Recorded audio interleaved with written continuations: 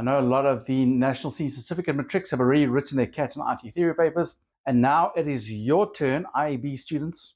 I know you're writing CAT this week, and so just for you, I've got a new series of podcasts being launched right now on the Computer Terms channel going through last year's paper.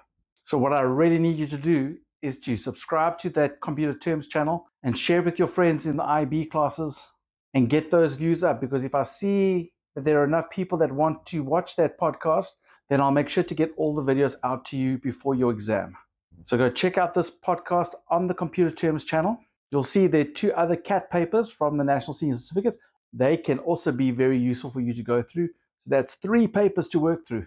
And then don't forget on the main channel, IT and CAT, I've got my three part series where we discuss the different parts of your paper. This applies to you as well. And then don't forget those flashcards.